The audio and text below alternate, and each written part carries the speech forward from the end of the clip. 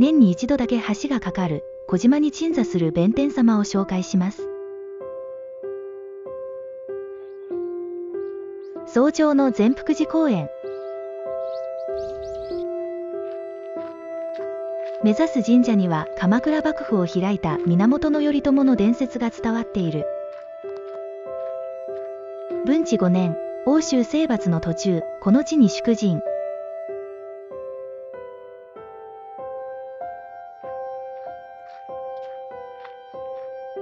飲み水を求めて湯はずで各所をうがつも水の出が遅い。そこで弁財天に祈りやっと水を得た。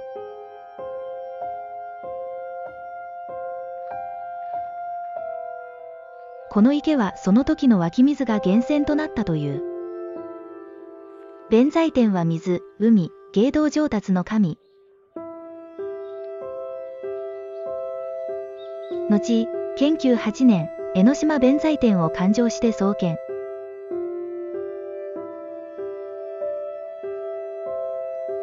小島がある。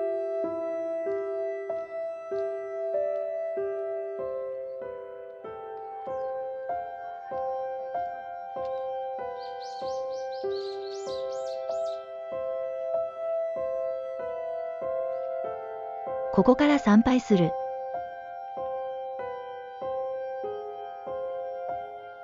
おそのいい月島神社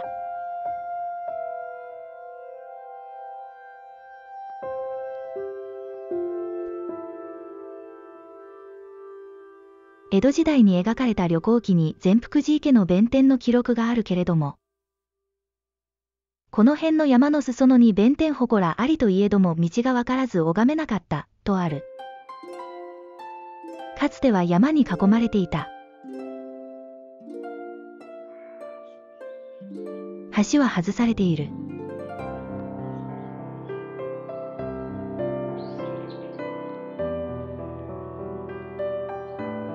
年に一度、大祭の4月8日に仮設の橋が架けられ、その日だけは島に渡ってお参りができる。社殿の正面の階段の頂上に鳥居が建てられている。